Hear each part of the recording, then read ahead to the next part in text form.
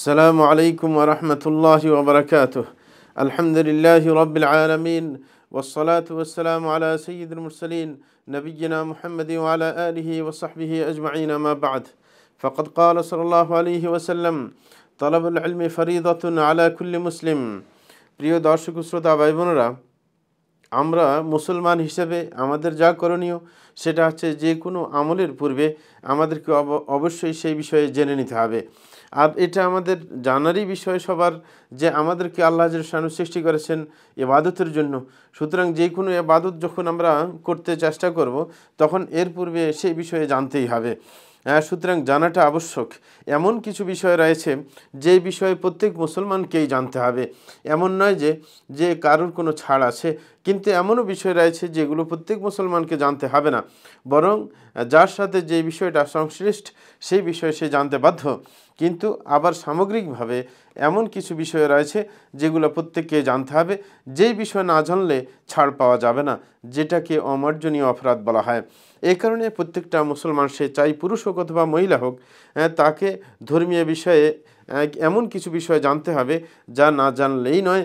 চাই সেটা আকিদার বিষয়ে হোক না কেন, চাই সেটা এবাদতের বিষয়ে হোক না কেন, চাই সেটা লেনদেনের ক্ষেত্রে হোক না কেন সুতরাং সেটাকে জানতেই হবে এবং সেই অনুযায়ী মানতেও হবে।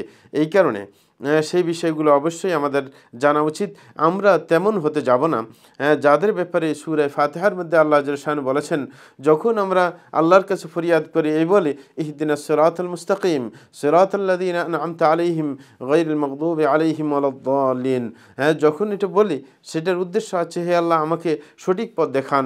হ্যাঁ ওদের পথ যাদেরকে আপনি নিয়ামত দিয়েছেন ইতিপূর্বে যারা হলেন আপনার আম্বিয়ে কেরাম এবং সিদ্দিক এবং শহীদ এবং নেকররা এবং ওদের পথ দেখাবেন না হ্যাঁ যাদের উপর আপনি অসন্তুষ্ট হয়েছেন, রাগ করেছেন, যাদের উপর তারা হচ্ছে খ্রিস্টান তারা হচ্ছে ইহুদি, ইহুদিদের উপর আল্লাহ রাগ করেছেন এই জন্য যে তারা আপনার জেনে আমল করছে না এবং ওদের, আপনি যারা পদভষ্ট ওদের পদ আমাদেরকে দেখাবেন না। তারা হচ্ছে খ্রিস্টান। খ্রিস্টানরা জানেও না, মানেও না। সুতরাং তাদের জ্ঞান নেই। হ্যাঁ পদভষ্ট সুতরাং ওদের কারোর সাথে আমাদের সম্পৃক্ততা হ্যাঁ সেটা আমরা চাই না। সেটা আমরা আমাদের সুরা ফাতে তেলাওয়াতের মাধ্যমে আল্লাহকে জানিয়ে দিচ্ছি যে ওদের পথ আমাদের দরকার নেই। সুতরাং বাস্তব জীবনে যেমন এমন না হয় যে আমরা জেনে তারপরে আমল করছি না, তাহলে যদিও আমরা চাই না ওদের দলভুক্ত হতে, আমরা তখন ইহুদিদের দলভুক্ত হয়ে যাব। আর যদি আমরা এমন হয় যে আমরা জানার চেষ্টাই করছি না বিষয়টি, তাহলে অবশ্যই আমরা খ্রিস্টানদের দলভুক্ত হয়ে যাব। যদিও আমরা সুরে ফাতেহার মধ্যে তাদের দলভুক্ত হতে আপনি নারাজ হ্যাঁ সেটা আমরা বাস্তব জীবনে প্রমাণ করে দেখিয়ে দিতে হবে। সুতরাং ধারাবাহিকভাবে আমরা এই ব্যাপারগুলো আলোচনা করতে চেষ্টা করব।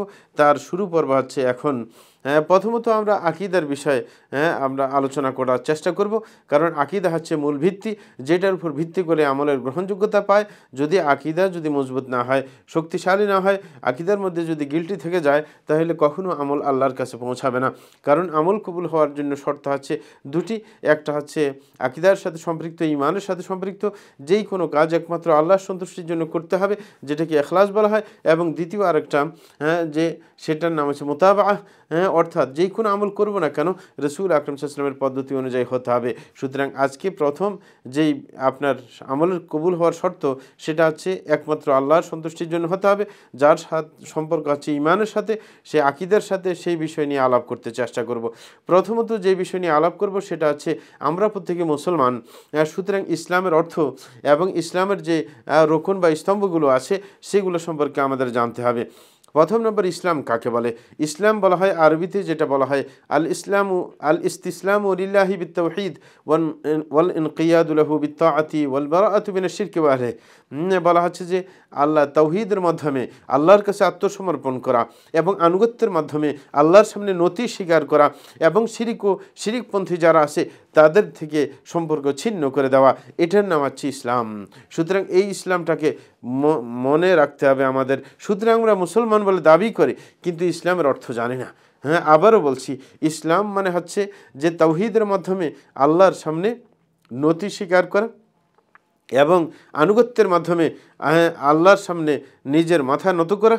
হ্যাঁ এবং এরকমভাবে শিরিক ও শিরিকপন্থীদের থেকে আপনার সম্পর্ককে বিচ্ছিন্ন করে দেওয়া। তাইলে তৌহিদের মাধ্যমে আল্লাহর সামনে আমরা নথি স্বীকার করব। আনুগত্যের মাধ্যমে আল্লাহর সামনে আনুগত্য, আনুগত্যের মাধ্যমে আল্লাহর সামনে মাথা নুয়ে ফেলব এবং যারা আনুগত্য করে না হ্যাঁ শিরিকের সাথে জড়িত হ্যাঁ তাদের থেকে এবং শিরিক থেকে আমরা সম্পর্ক ছিন্ন করে ফেলব। এই ইসলামের আবার পাঁচটি রোকন রয়েছে। সর্বপ্রথম যে রোকনটা, সেটা হচ্ছে হ্যাঁ সেটা সাক্ষর সাথে সম্পর্ক। যে এই ব্যাপারে সাক্ষ্য দেওয়া যে আল্লাহ ছাড়া সত্য কোনো মাহবুদ নেই এবং মোহাম্মদ সাল্লাম আল্লাহ রসুল তাইলে এটা হচ্ছে সাক্ষর সাথে। এটা ইমানের প্রথম স্তম্ভ নয়। অনেকে ভুল বুঝে থাকেন যে ইসলামের প্রথম স্তম্ভ আবার ইমানের সাথে কেন মিল হয়ে গেল। না, এটা হচ্ছে সাক্ষ্য। এটা মুখের সাথে সম্পর্ক, সাক্ষ্য দেওয়া। আর ওটা হচ্ছে ভিতরের সাথে সম্পর্ক হ্যাঁ যেটা ইমানের প্রথম স্তম্ভ। তাইলে এটা সাক্ষ্য দেওয়ার ব্যাপার যে দুটি সাক্ষ্য। আল্লাহর ব্যাপারে সাক্ষ্য যে তিনি ছাড়া সত্য কোনো মাবুদ নেই। রসুলের ব্যাপারে সাক্ষ্য মোহাম্মদ ইসলামের ব্যাপারে তিনি আল্লাহ রসুল। দ্বিতীয় নম্বর যেটা, সেটা হচ্ছে আপনার সালাদ কায়েম করা। এটা হচ্ছে ইসলামের দ্বিতীয় রোকন। তৃতীয় নম্বর রোকন হচ্ছে জাকাত আদায় করা। চতুর্থ নম্বর যেটা রোকন, সেটা হচ্ছে রমজানের সৌম পালন করা। এবং পাঁচ নম্বর যেটা, সেটা হচ্ছে বাইতুল্লাহিল হারামের হজ করা, যার পক্ষে তা করা সম্ভব। এই পাঁচটি রোকন ইসলামের অবশ্যই আমাদের জেনে নিতে হবে। এর মধ্যে তিনটি বিষয় এমন রয়েছে যে ধনী, গরিব সবাইকে তা আপনার মেনে নিতে হবে। এটা হচ্ছে আল্লাহর ব্যাপারে, রসুলের ব্যাপারে সাক্ষ্য দিতে হবে। দ্বিতীয় নম্বর সালাদ কায়েম করতে হবে। তৃতীয় নম্বর হচ্ছে আপনার রোজা আপনার সোম পালন করতে হবে। এটার সাথে আপনার ধনী, গরিব সাথে কোনো বিশেষ কোনো সম্পর্ক নেই, সবার জন্য সমান। কিন্তু বাকি দুইটা বিষয় এমন রয়েছে জাকাত এবং কি হজ করা। এই দুইটার সাথে ধনের সম্পর্ক রয়েছে। এখন আমাদেরকে প্রথমে বুঝতে হবে যে তৌহিদের গুরুত্ব কতটুকু। একজন মুসলিমের জীবনে হ্যাঁ আমাদের জেনে রাখা অবশ্যই দরকার যে আল্লাহ জলসানু আমাদেরকে আল্লাহর ইবাদতের জন্য সৃষ্টি করেছেন এবং তিনি তার সাথে শিরিক করতে নিষেধ করেছেন যে তার সাথে কোনো বস্তুকে শিরিক করা যাবে না, অংশীদার বানানো যাবে না। সুরে দারিয়াত ছাপ্পান্ন নম্বর আয়তের মধ্যে আল্লাহ বলেন, ওয়ামা খালাকুল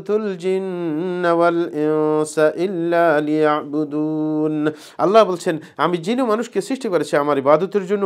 এই এবাদত সেটা কখনো জ্ঞান ছাড়া জানা যাবে না। কি আবাদত আমি আল্লাহর জন্য করব? সেটা একমাত্র ওহির জ্ঞান ছাড়া জানা সম্ভব নয়। যেরকমভাবে আল্লাহ শানু সুরে মোহাম্মদের উনিশ নম্বর আয়তের মধ্যে বলেন ফাল্লাম আন্নাহু লা ইলাহা ইল্লাল্লাহ ওয়াস্তাগফির লিযামবিকা ওয়ালিল মুমিনিনা ওয়াল মুমিনাত ওয়াল্লাহু ইয়ালামু মুতাকাল্লাবাকুম ওয়া মাসওয়াকুম আল্লাহ জল শান বলেছেন জেনে রাখো যে আল্লাহ ছাড়া সত্য কোনো মাবুদ নেই এবং রাসূলকে বলেছেন যে আপনি ক্ষমা চান আপনার নিজের পাপের জন্য এবং মুমিন পুরুষ এবং মহিলাদের পাপের জন্য আপনি ক্ষমা চাইবেন আল্লাহর কাছে এবং বলছেন, আল্লাহ জানেন যে আপনার হ্যাঁ আপনার চাল চলন এবং আপনার হ্যাঁ গন্তব্য কোথায় সেই সম্পর্কে আল্লাহ ভালোই জানেন। সুতরাং এই আয়তের মধ্যে আল্লাহ শানু কথা এবং কাজ, হুম, কথা আছে কি, আপনার লাইলাহ হ্যাঁ যেটা সেটা হচ্ছে কথা, এরকম কাজ হচ্ছে ইস্তেফার করা। এই কথা কাজের আগে জানার কথা বলেছেন। ফালাম, জেনে রাখো, সুতরাং কথা কাজের আগে জানতে হবে। সুতরাং প্রত্যেকটা মানুষকে সর্বপ্রথম যেটা জানার বিষয়, সেটা হচ্ছে তাওহিদের কথা, যেটা এখানে উল্লেখ করা হয়েছে। আল্লাহ ছাড়া সত্য কোনো মাবুদ নেই, সেটা প্রথমে জানতে হবে। কারণ এটা হচ্ছে ধর্মের আসল মূল এবং সেটা হচ্ছে ধর্মের ভিত্তি। যেই তাওহিদ ছাড়া ধর্ম কখনো প্রতিষ্ঠা লাভ করতে পারে না এবং এটা হচ্ছে প্রত্যেক মুসলমানের জানা সর্বপ্রথম কর্তব্য এবং এটা সর্বশেষ কর্তব্য বটে। কারণ এটা ছাড়া যদি মৃত্যুবরণ করে, তাহলে তার জান্নাতে যাওয়া সম্ভব হবে না। সুতরাং তাওহিদ হচ্ছে ইসলামের প্রথম রোকন যেটা প্রত্যেক মুসলমানকে জানতে হবে এবং সেই অনুযায়ী আমল করতে হবে। এবং এই যে আপনার ইসলামের পাঁচটা রোকন, সেটা আমরা বিশেষ করে আবদুল্লাহ ইবনে মোহাম্মদ রদিয়াল হাদিসের মধ্যে আমরা পেয়ে যাই, যে রসুল আকরম সাল্লাম বলেন যেটা বুখারি মুসলিমের হাদিস যে বুনিয়াল ইসলাম আলা খামসিন শাহাদতি আল্লাহ ইলাহ ইল্লাল্লাহ ও আন্ন মোহাম্মদ রসুল্লাহ ওয়া ইকাম সালাতি ওয়া ইতা ইজাকাতি ওয়া হজ্জুল বাইতি ওয়া সৌমি রমাদান। যে, আপনার রসুল আকরম সাম বলেন ইসলামের ভিত্তি হচ্ছে পাঁচটা পাঁচটা স্তম্ভ রয়েছে। এক নম্বর এই ব্যাপারে সাক্ষ্য দেওয়া যে, আল্লাহ ছাড়া সত্য কোনো মাহবুদ নেই এবং মোহাম্মদ আল্লাহ রসুল এক নম্বর। দ্বিতীয় নম্বর হচ্ছে যে সালাদ কায়েম করা তৃতীয় নম্বর হচ্ছে জাকাত আদায় করা। চতুর্থ নম্বর হচ্ছে আপনার বাইতুল্লাহর হজ করা। পঞ্চম নম্বর হচ্ছে রমজান রোজা রাখা। সুতরাং প্রত্যেক মুসলমানকে সর্বপ্রথম যেটা জানতে হবে সেটা হচ্ছে তৌহিদের অর্থ। যখন পাঁচটা স্তম্ভের মধ্যে সর্বপ্রথম হচ্ছে তৌহিদ সুতরাং তৌহিদের অর্থ জানতে হবে। তৌহিদের অর্থ হচ্ছে ইফরাদুল্লাহ বিল ইবাদা। যে এবাদতের ক্ষেত্রে আল্লাহকে একক সাব্যস্ত করা, অর্থাৎ এক আল্লাহ ছাড়া কারোর জন্য এবাদত না করা, সুতরাং আল্লাহর সাথে তার এবাদতের মধ্যে কাউকে শরিক করা যাবে না। না কোনো নিকটতম ফেরেস্তাকে শরিক করা যাবে, না কোনো হ্যাঁ প্রেরিত রসুলের সাথে শিরিক করা যাবে এই ক্ষেত্রে। এখন আবার যেটা জানার বিষয়, সেটা হচ্ছে লা ইলাহা ইল্লাল্লাহর যে আমরা সাক্ষ্য দিয়েছি, এটার মানা, এটার অর্থ আমাদের জানতে হবে। হ্যাঁ লাইল্লার অর্থ মানে কি? একজন ব্যক্তি এই ব্যাপারে সাক্ষ্য দিবে যে যে একজনে কঠিন বিশ্বাস নিয়ে এই কথার সাক্ষ্য দিবে যে যে সত্যিকার মাবুদ একমাত্র আল্লাহ যেন শানুহু, যে আল্লাহ ছাড়া সত্য কোনো মাবুদ নেই। সুতরাং সে একমাত্র আল্লাহর ইবাদত করবে এবং যত প্রকারের সে ইবাদত করতে চাইবে, সবগুলো সম্পাদন করবে একমাত্র আল্লাহর উদ্দেশ্যে।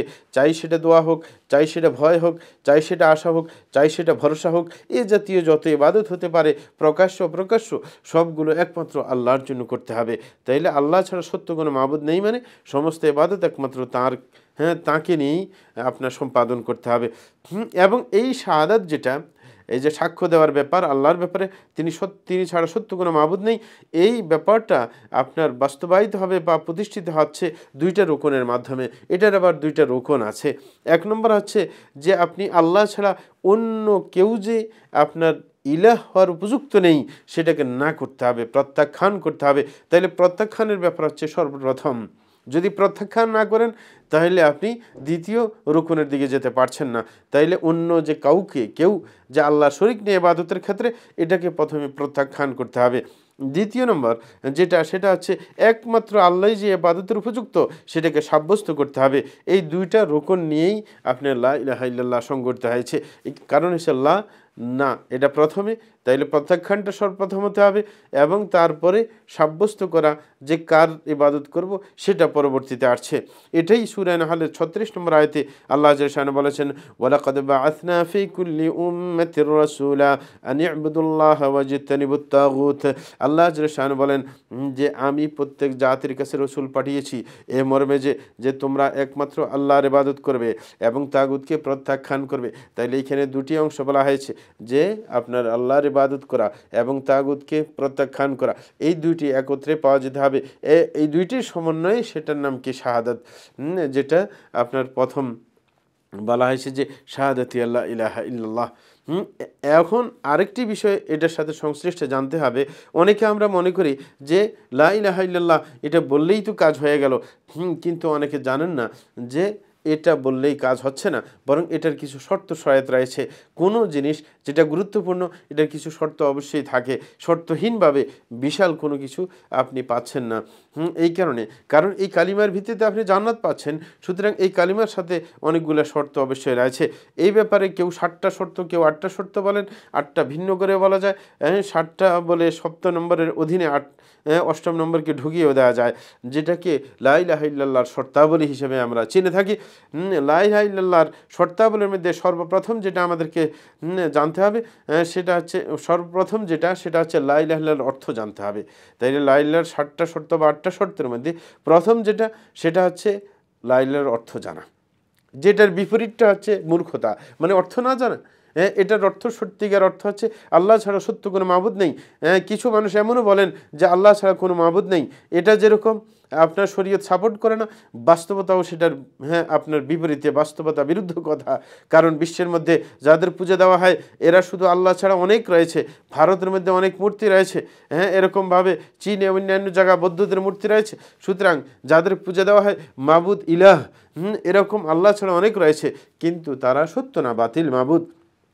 এই কারণে আল্লাহ বলেছেন দালিকে হক ওয়ান্নামা ইয়াদউনা মিন দুনিহি ওয়াল বাতিল।